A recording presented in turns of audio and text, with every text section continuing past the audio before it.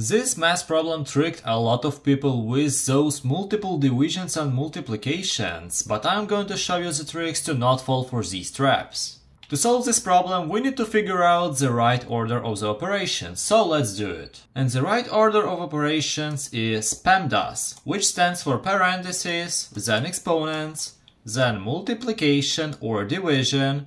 If we have multiple of them, as in this problem, we work from left to right.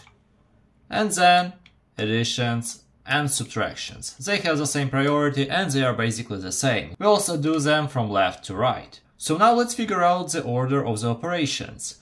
First, parentheses. Do we have parentheses? Yes, we have. This is a parenthesis, so we will do it first. This is operation number one. Then exponents, we don't have exponents. And then multiplications and divisions. We're going to have this division and this multiplication.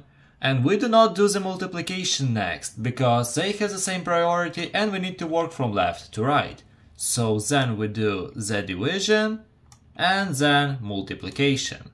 Multiplication is right here. So now, once we know it, let's solve it correctly. Wait, if you like the explanation so far, please consider subscribing. Thank you! So the first was parentheses. 40 divided by 8 gives us 5. And we are left with 40 divided by 8 and multiplied by 5.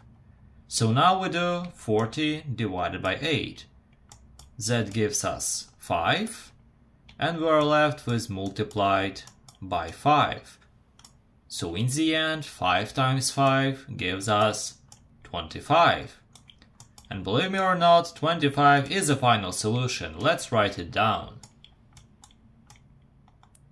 If you want to test your knowledge in PEMDAS, watch this video next and comment your solution down below. Have a nice one!